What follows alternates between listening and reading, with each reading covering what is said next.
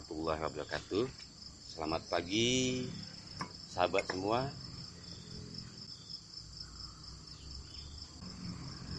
Pagi ini Kusapa para sahabat semua Dengan doa Doa kebahagiaan Doa kesuksesan buat kita semua Doa ketenangan buat kita semua. Wahai sahabat-sahabat tercinta Saya ingin bertanya seberapa besarkah keinginan para sahabat dan diri saya sendiri untuk berubah? Berubah dalam kehidupan berubah dalam sikap berubah dalam apa? Berubah dalam hal apa pun yang menuju kebaikan menuju kepada kemajuan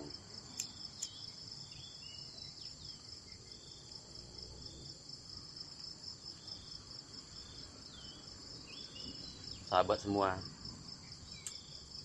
Uh, tak peduli umur sahabat sudah 60, 50 atau 40 ketika sahabat ingin mulai berubah maka berubahlah sekarang. Tak peduli jangan risau. Wah saya sulit. Saya macam mana untuk mengejar cita-cita lagi? Karena umur saya sudah 50 wah saya tidak mungkin mengejar kehidupan yang lebih baik lagi karena umur saya sudah 60 ada lagi yang berkata karena umur saya sudah 40 baik sahabat semua berapapun umur kita berapapun umur kita sekarang ini juga buat anak-anak muda. Maka ketika kita ingin berubah menjadi bertambah baik, maka mulailah sekarang. Mulai sekarang dan harus yakin. Pertama yang harus dimulai adalah dengan merubah sikap. Sikap baik itu sikap tubuh, baik sikap pikiran maupun sikap hati. Itu harus mulai dirubah sekarang. Eh, kenapa harus merubah sikap? Ya karena dengan merubah sikap, sikap tubuh, sikap pikiran, sikap hati, sikap perbuatan, sikap pergaulan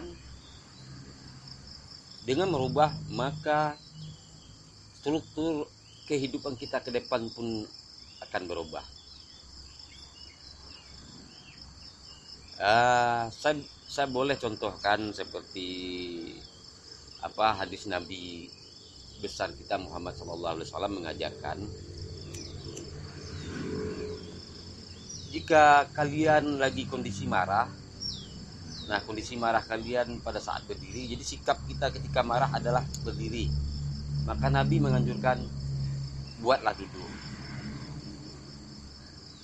Jika marahmu masih ada buatlah berbaring. Jadi artinya dengan merubah sikap dari sikap pertama ke sikap kedua itu boleh merubah keadaan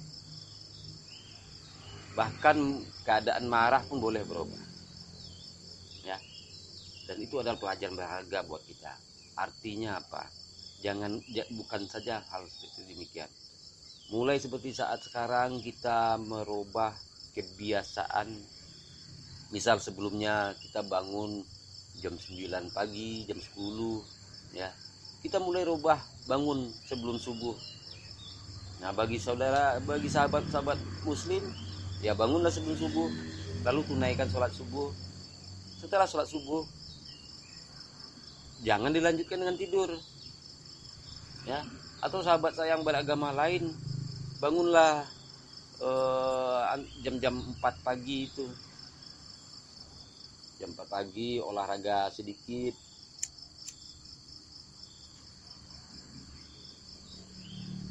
Pepatah orang-orang kita mengatakan ketika kita bangun siang maka rezeki kita dipatok ayam.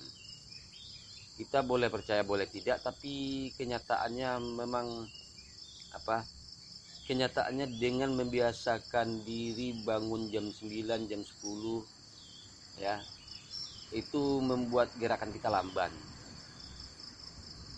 Dan membuat pikiran kita lamban. Dan membuat uh, tindakan-tindakan kita dalam hal apa pun menjadi lambat. ketika kita sudah biasakan bangun pagi subuh setelah sholat subuh bagi muslim jangan tidur lagi. Begitupun sahabat-sahabat agama lain jangan tidur lagi. Ketika belum ada kegiatan memang kita tak punya kegiatan apa-apa. Keluar rumah jalan-jalan lihat eh, sekeliling lihat taman atau banyaklah yang boleh kita lakukan yang penting kita jangan tidur lagi. Hentikan kebiasaan tidur setelah subuh. Pertama itu tak baik buat kesehatan. Kedua membuat kita semakin malas-malasan. Ketiga eh, kita telah menyia-nyiakan waktu kita. Karena dalam Al-Quran disebutkan bertebaranlah ke muka bumi ini. Ya setelah kita tunaikan perintahnya bertebaranlah ke muka bumi ini. Dan carilah rezeki yang baik. Kalau kita memang belum belum belum punya ke, apa ada kegiatan yang yang tidak ada kita kegiatan ya kita keluar saja. Jalan ke mana? Ke pasar atau ke kebun-kebun atau ke kebun orang. Dengan melihat dengan uh, memandang sesuatu itu membuat pikiran kita terbuka. Mungkin kita punya apa punya uh, kesempatan untuk terbuka pikiran kita melihat peluang-peluang dalam perjalanan itu mungkin ada peluang baru datang. Jadi seperti itu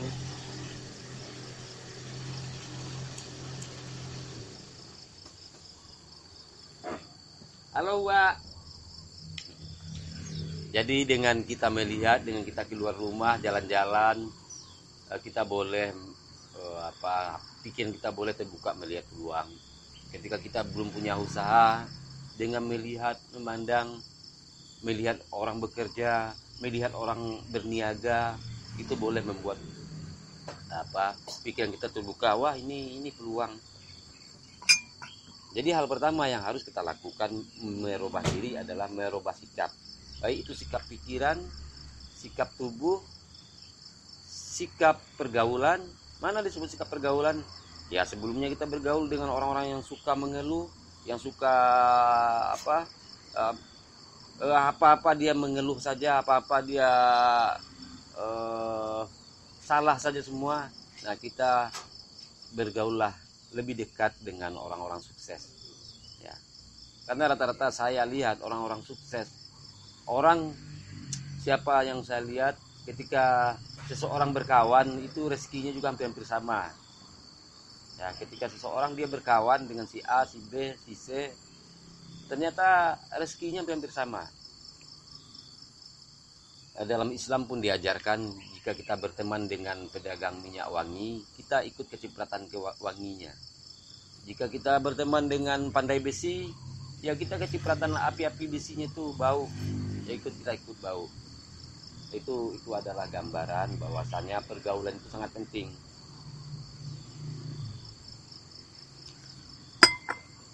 Ah timbul pertanyaan jika demikian apakah saya tak perlu bergaul dengan apakah harus saya memilih-milih pergaulan? Oh tidak. Kita tak boleh memilih pergaulan. Tapi kita harus fokus bergaul kepada apa-apa yang membuat kita semakin berkembang. Yang menguntungkan kita. Mana yang menguntungkan kita? Membuat pikiran kita berkembang. Kita kita bergaul dengan seorang.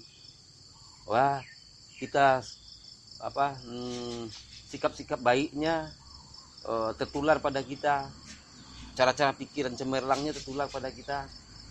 Ya cara-cara bisnisnya kenapa dia bisnis maju tertular pada kita. Kita pergaulin semuanya. Hanya saja yang harus lebih banyak kita berhadapan adalah sama orang-orang baik orang-orang sukses ya.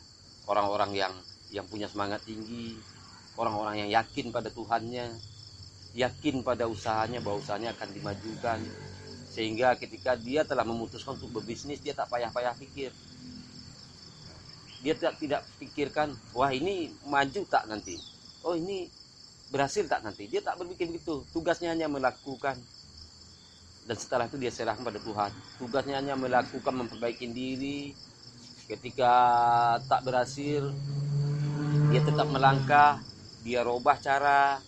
Karena dia percaya cara pertama tidak berhasil saya tak mungkin buat cara pertama lagi. Saya buat robah cara kedua. Demikian selanjutnya. Kita lihat orang-orang sukses itu dia tidak langsung sukses seperti itu. Dia jatuh bangun jatuh bangun jatuh bangun. Hanya bedanya ketika dia terjatuh dia robah cara setelah itu. Sama lagi dengan sikap tadi. Nah ketika dia terjatuh lagi dia robah lagi cara.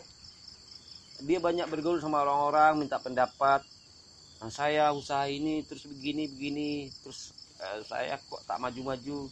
Akhirnya diberi saranan oleh teman-teman yang sudah sukses. Jadi seperti itu. Jadi begitu sahabatku pertama hal yang harus kita lakukan adalah merubah sikap. Baik sikap pikiran uh, sikap perbuatan perbuatan sehari-hari kita kita ubah karena misal kita sudah berumur 40 50 60 tapi kehidupan kita masih seperti itu seperti itu itu berarti ada yang salah yang kita lakukan. Atau kita hanya melakukan kesalahan-kesalahan yang berulang. Atau melakukan hal-hal yang yang itu ke itu saja sehingga hasilnya juga itu ke itu saja. Jadi mulai sekarang tak payah pikirkan, wah saya sudah tua, wah saya ada bahasa pepatah di Minang kami, ya cakap macam ni, uh, tua belum, muda terlampau. Jadi endak ke mana kami melangkah, tua belum, tapi muda sudah terlampau, tenaga sudah kurang, waktu sudah sedikit.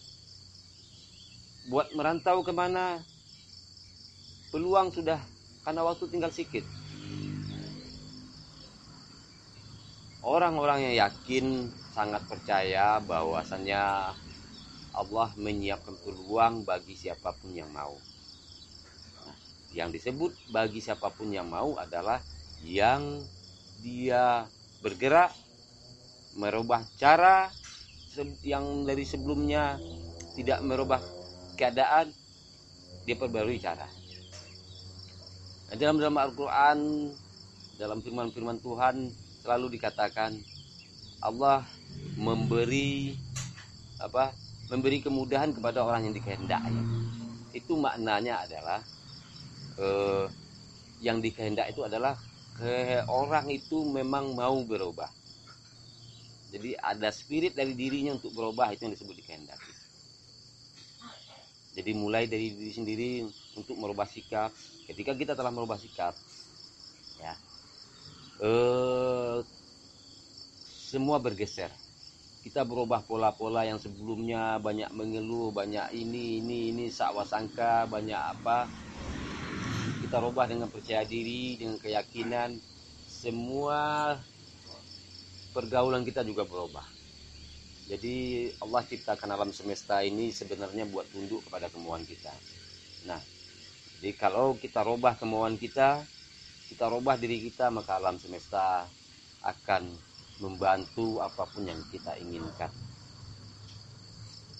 Baik sahabat semua, demikian apa eh, ya demikian video saya kali ini. Video ini saya saya apa video ini saya tujukan kepada sahabat-sahabat yang seumuran saya yang berumur 50, 60 atau 40 dan juga boleh bagi yang muda-muda bahwasanya kesempatan selalu ada seberapapun umur kita. Saya bukanlah orang sukses, tapi saya punya pengalaman panjang hidup dalam kesusahan. Ketika mulai saya robah pola saya, saya robah sikap saya, dan ternyata peluang-peluang kelihatan ada ingat eh, para motivator biasanya dia menyampaikan sesuatu ketika dia sudah sukses. Ya dia sudah kaya. Berbeda dengan saya. Saya mungkin saya bukan motivator. Tapi yang jelas pada saat ini pun kehidupan saya masih seperti apa? Ya eh, apa namanya ya belum layak disebut untuk untuk untuk jangankan kaya untuk berada untuk cukup saja belum layak. Tapi hidup saya sebelumnya itu sangat kekurangan. Sering saya punya keluarga makan sore hari baru boleh makan baru bisa makan. Nah tapi sekarang hal-hal seperti itu tak ada lagi. Nah ketika pengalaman seperti itulah yang yang saya kabarkan sekarang nah kenapa saya berani mengatakan itu? Karena memang ada perubahan walaupun saya boleh disebutkan belum belum mencukupi kehidupan. Saya tapi saya yakin saya sebagai contoh ketika cara selalu saya perbarui sikap selalu saya perbarui kepada yang baik maka bagi Allah sangat mudah untuk merubah kehidupan kita. Baik sahabat semua salam bahagia buat semua salam sukses buat semua. Mari kita majukan Indonesia kita. Mari kita majukan Nusantara. Mana yang disebut Nusantara? Malaysia segala Melayu semua sampai Indonesia. Mari kita majukan. Karena apa? Atau negara-negara lain pun mari kita sama-sama maju. Jangan bertingkah jangan apa? Jangan memperbesar perbedaan ya mari kita bersatu. Mari kita saling menjaga persatuan. Ya mari kita membaiki diri dan biarkan orang kita tak perlu jelek-jelekan orang dan sukses buat kita semua. Assalamualaikum warahmatullahi wabarakatuh